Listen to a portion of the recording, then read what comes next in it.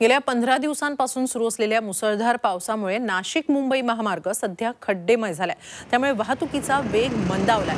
वाहन चालकांना अगदी कमीत कमी वेगानं हा महामार्ग पार करावा लागतो बहुतांश ठिकाणी असलेल्या या खड्ड्यांमुळे वाहनधारक पार वैतागले आहेत. याचा आढावा घेतलाय आमचे प्रतिनिधी योगेश खरे यांनी. मुंबई आग्रा महामार्ग म्हणजे राष्ट्रीय महामार्ग क्रमांक तीन. हा महामार्ग आपण बघू शकतोय. पूर्णपणे खड्ड्यात गेला आहे खड्ड्यांची परिस्थिती आपण या ठिकाणी बघू शकतोय वरून.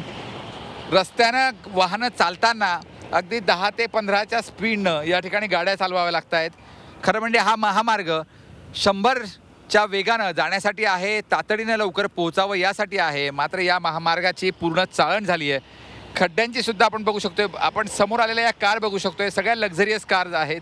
पण या सर्व कार अक्षरशः या ठिकाणी रस्त्यावर जणू काही कसरती करतायत किंवा एखाद्या रे गाऱ्याची रेस असेल दुचाकीची फोर व्हीलरची अशा पद्धतीच्या रेस या ठिकाणी आपल्याला दिसून येते आणि त्यामुळे लोकांचे प्रचंड हाल या ठिकाणी सुरू आहेत.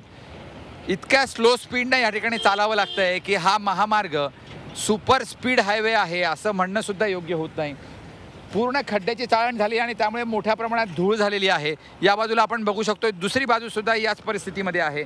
राष्ट्रीय महामार्गचा जो काही ठेका या ठिकाणी ज्यांना देण्यात आला आहे त्यांनासुद्धा एकशे पंधरा रुपये या ठिकाणी काही किलोमीटरसाठी घेतले जातात. आणि एकशे पंधरा रुपये एका बाजूने आणि दुसऱ्या बाजूने पुन्हा येण्यासाठी एकशे पंधरा रुपये. असे दोनशे तीस रुपये जर आपल्याला या महामार्गावर प्रवास करायचा असेल अगदी इगतपुरीपर्यंत तरी लागतात.